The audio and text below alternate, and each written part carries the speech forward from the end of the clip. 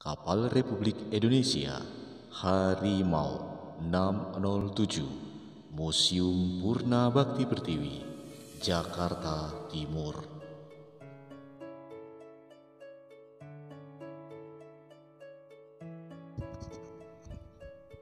Perjuangan pemerintah Republik Indonesia untuk membebaskan Irian Barat dari kekuasaan Belanda melalui jalur diplomasi mengalami jalan buntu sehingga memaksa pemerintah Republik Indonesia untuk menempuh jalan konfrontasi agar secepatnya wilayah Irian Barat kembali ke pangkuan negara kesatuan Republik Indonesia.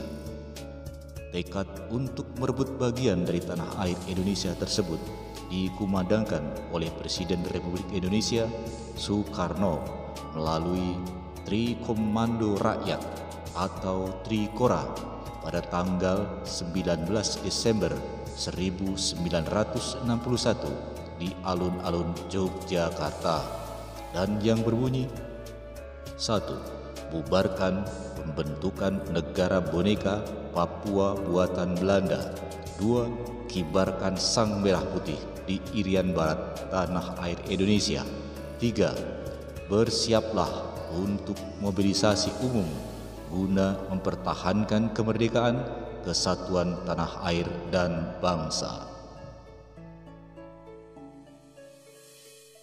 Selanjutnya, pada tanggal 31 Desember 1961, rapat gabungan Dewan Pertahanan Nasional dengan Kepala Staf Gabungan dan Komando Tertinggi Irian Barat memutuskan Pertama, membentuk Provinsi Irian Barat yang dipimpin oleh seorang gubernur putra daerah. Yang kedua, membentuk Komando Mandala yang langsung memimpin Kesatuan Angkatan Bersenjata Republik Indonesia dengan misi merebut Irian Barat. Presiden Republik Indonesia selaku Panglima tertinggi Angkatan Perang mengangkat Mayor Jenderal Soeharto sebagai Panglima Komando Mandala Pembebasan Irian Barat yang membawahi Komando Angkatan Darat Mandala, Komando Angkatan Laut Mandala, Komando Angkatan Udara Mandala, Komando Pertahanan Udara Gabungan Mandala dan Komando Pasukan Gabungan Mandala yang masing-masing dipimpin oleh seorang panglima.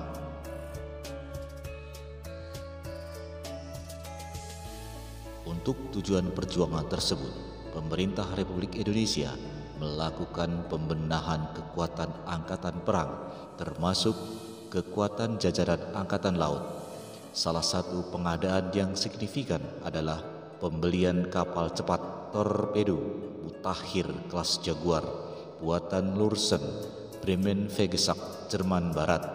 Indonesia membeli delapan buah dan salah satunya adalah KRI Harimau yang mulai bergabung ke jajaran Angkatan Laut Republik Indonesia pada tahun 1960 dan kapal perang sejenis lainnya adalah KRI Macan Tutul, KRI Serigala, KRI Ayak, KRI Anoa, KRI Macan Kumbang, KRI Beruang, dan KRI Singa.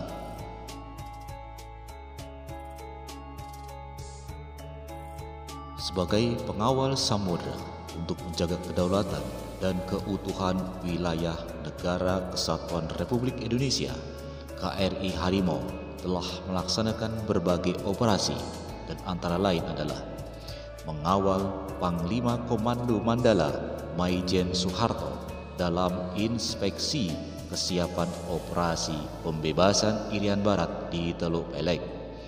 Kedua, tanggal 9 Januari 1962, KRI Harimau di bawah Komandan Mayor Laut P. Samuel Muda bersama KRI Macan Tutul, KRI Singa, dan KRI Macan Kumbang melaksanakan operasi infiltrasi untuk menyelundupkan pasukan ke Pantai Merah, Kaimana Irian Barat yang masih dikuasai Belanda. dan mereka bergabung dalam Satuan Tugas Khusus 9 atau STC 9 di bawah Komandan Kolonel Laut P. Sutomo yang pada operasi tersebut berada di KRI Harimau sebagai kapal pimpinan.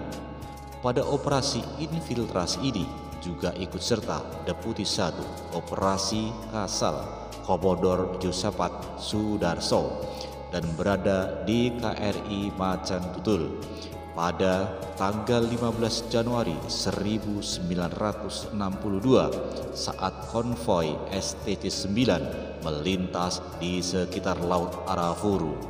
Keberadaannya diketahui oleh pesawat patroli Belanda jenis Neptune yang kemudian melaporkannya ke kapal perang Belanda yang sedang berpatroli yaitu HR MS Everston dan HR MS Kortenair. Dalam pertemuan tersebut, Komodor Josafat Sudarso gugur bersama para perjuang lainnya.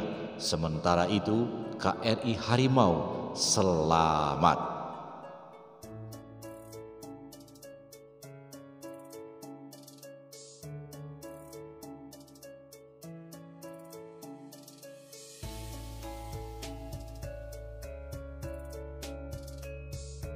Dan keberadaan KRI Harimau sekarang berada di Museum Purna Bakti Pertiwi sebagai monumen KRI Harimau 607